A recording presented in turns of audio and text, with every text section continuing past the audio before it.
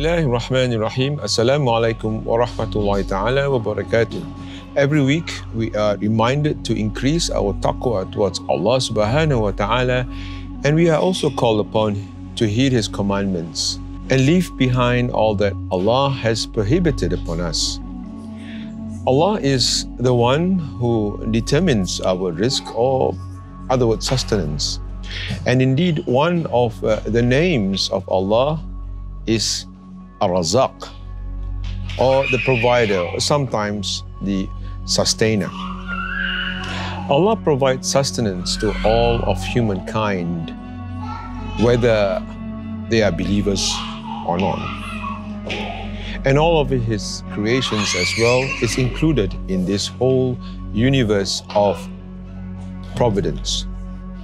As Allah says in Surah Hud, verse number six, which ultimately means, and there is no creature on earth but that upon Allah is its provisions, and He knows its place of dwelling and place of storage. All is in a clear register.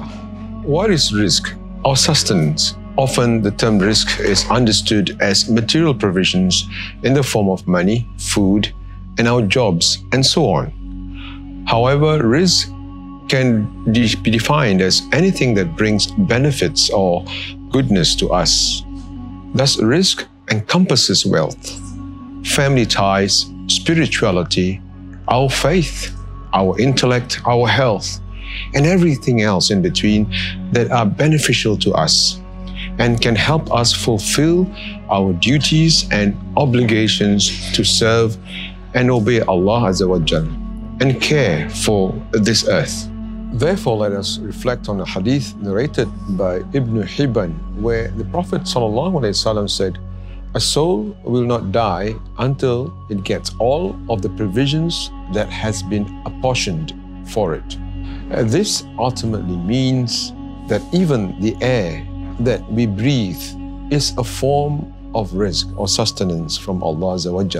With that, we must first begin to appreciate and understand the meaning of rizq with a belief that Allah subhanahu wa ta'ala is the ultimate provider, the ultimate sustainer, and the one who in the end decides. Sometimes we take things for granted, underestimating the value of the bounties Allah Azawajal has showered upon us without realizing how perfect Allah has created the environment to meet our needs. Now, just look at how plants play a role in producing the oxygen we breathe and the process of rainfall, which provides water for us to drink and nourishes the crops, which then becomes a source of food for both humans and animals alike.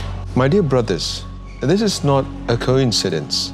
Rather, it is Allah's will and is the sustenance from Allah subhanahu wa ta'ala. However, we need to be aware that rizq does not come easily.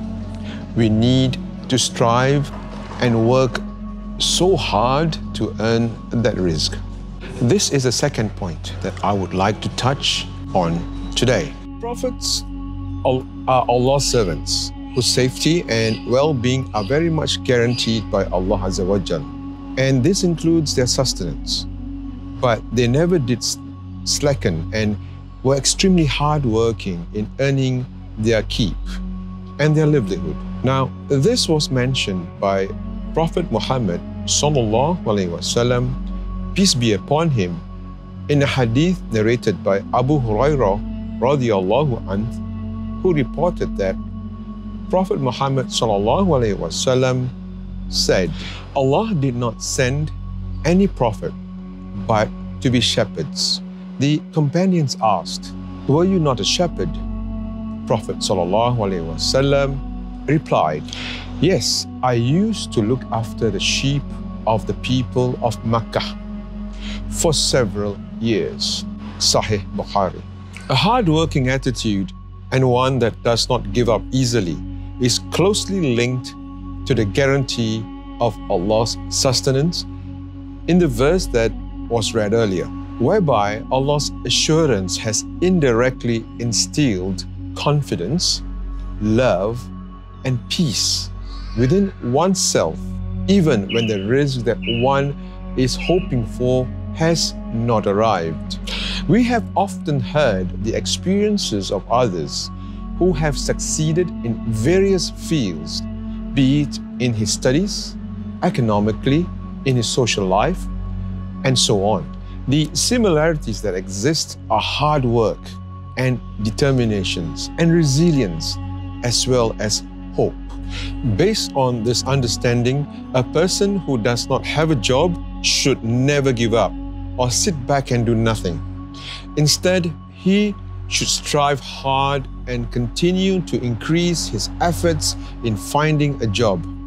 A person who already has a job but feels that he does not earn much should then strive to upgrade his skills and increase his knowledge in the field he's working in through available schemes that's available everywhere now that are offered by various government agencies and private organizations.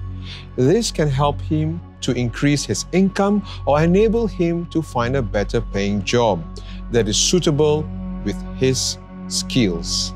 Only those who diligently put in effort and do not give up will receive Allah's help.